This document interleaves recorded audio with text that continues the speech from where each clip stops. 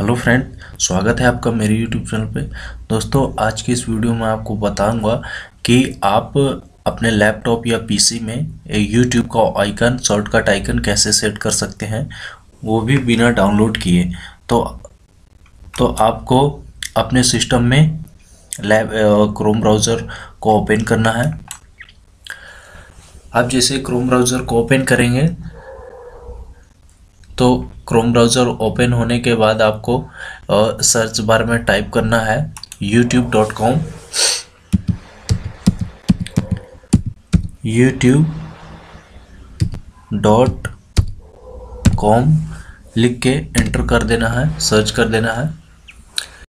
जैसा कि आप देख पा रहे हैं, यहाँ पे यूट्यूब का यूट्यूब ओपन हो चुका है हमारे क्रोम ब्राउज़र में।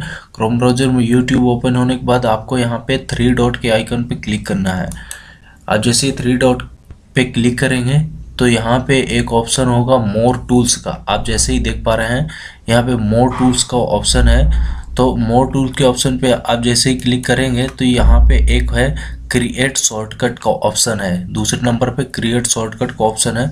आप क्रिएट शॉर्टकट के ऑप्शन पे क्लिक करेंगे तो आपको यहाँ से पूछा जाएगा ओपन एज विंडो तो आपको राइट क्लिक कर देना है यहाँ पे ब्लू टिक कर देना है और क्रिएट का ऑप्शन पे क्लिक कर देना है। आप जैसे ही इतना क्लिक ए, क्लिक करेंगे तो यहाँ पे आपका जो ऐप है वो शॉर्टकट बन के तैयार हो चुका है। आप जैसे कि होम स्क्रीन पे आप देख सकते हैं यहाँ पे ये यूट्यूब आ चुका है।